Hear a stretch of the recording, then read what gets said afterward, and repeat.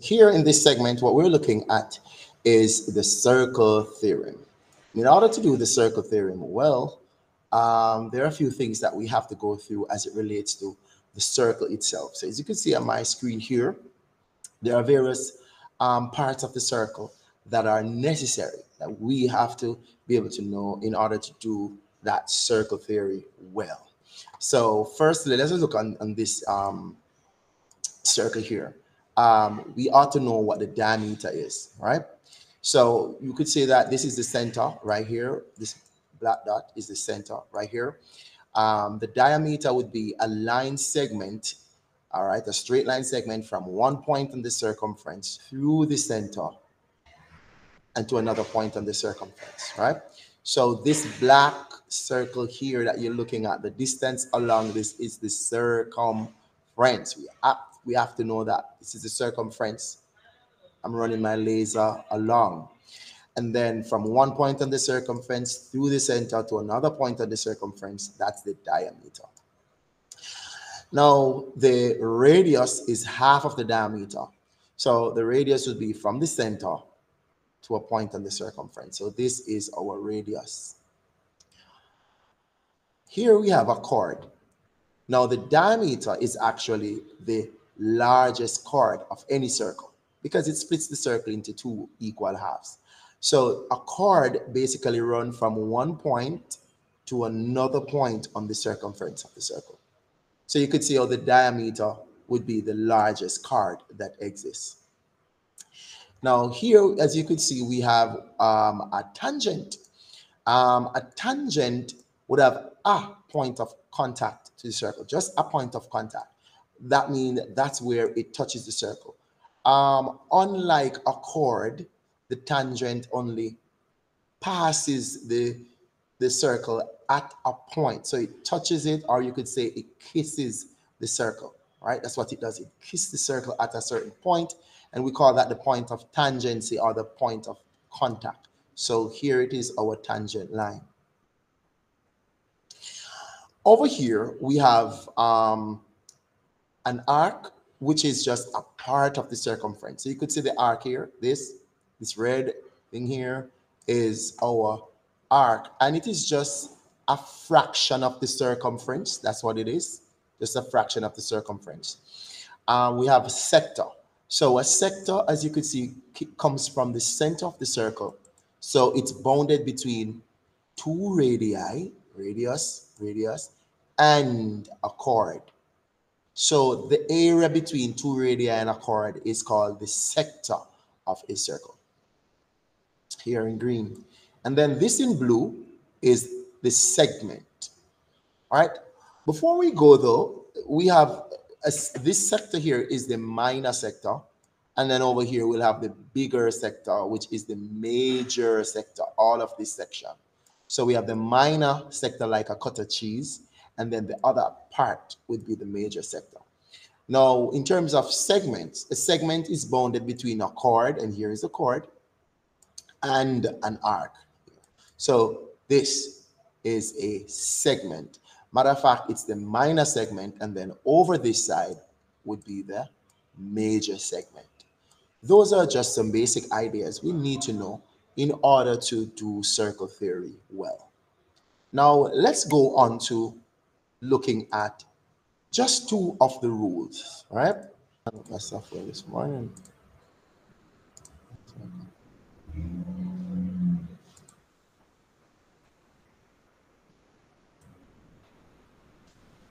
Yeah.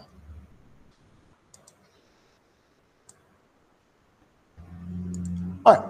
So here is I have a polygon, and we're going to look at rule number one. So rule number one states that the angle at the center, so the angle at the center is actually two times the angle at the circumference, providing they're standing on the same chord. All right. So let's put on the, the labeling of some angles here. All right. So we have put on that angle at, at D all right and then i'm going to put on this angle at a so i'm looking at this angle at the center here it's 132.4 and if you notice right now this angle at d at the circumference is 66.2. So if you divide this by 2, definitely you'll get this. Or if you multiply this by 2, you'll get this, which means that the angle at A is 2 times the angle at D. So C A B is 2 times C D B. And if you notice though, the angles were subtended from B and C. So basically they are standing on the same arc right here. Or you could say they're standing on the same chord, this imaginary line here from C to D. Now, this theory is saying that any, as long as you're standing at the same, on the same chord here, C to D, or on the same arc, if you want to look at it like this. And then the angle subtends that goes to D here, from B to D.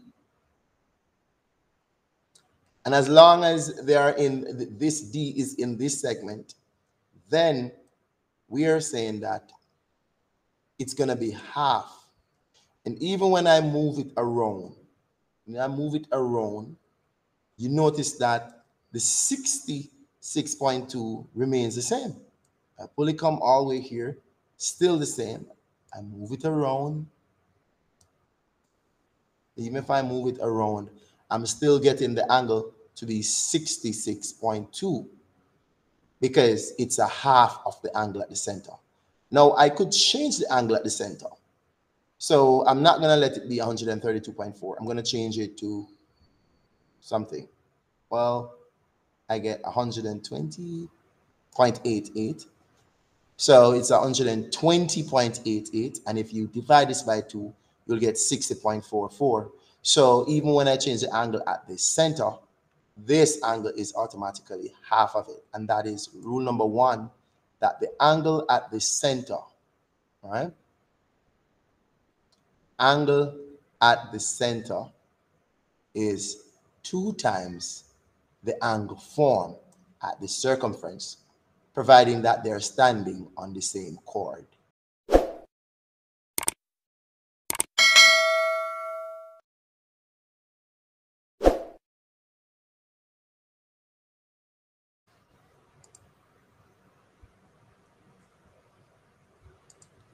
All right, so let's look at this semicircle here.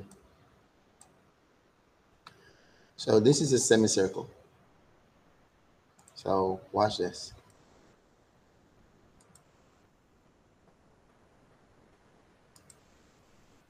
As long as I'm a semicircle, right? This angle here should be 90. And that's the point we're making. And even so, this is a semicircle.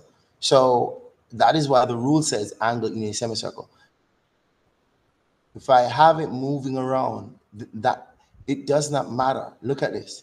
So as long as long as the angle is subtended from the end points, or this is now my diameter here. So as long as they're subtended from the end points of my diameter and then goes to the circumference, we'll get a 90 degrees. So I have 90 degrees at B and it does not matter where I bring this, it's still going to be 90 degrees. So we're looking at angle in a semicircle subtended from the endpoints of a diameter is always 90 degrees. So you could see for yourself, it doesn't matter how many times I move this around and stop it, I'll still get my 90 degrees. All right, good guys. So, so there it is. We looked at two of the theorems. One, um, angle at the center is two times the angle at the circumference, and two, angle in a semicircle is 90 degrees.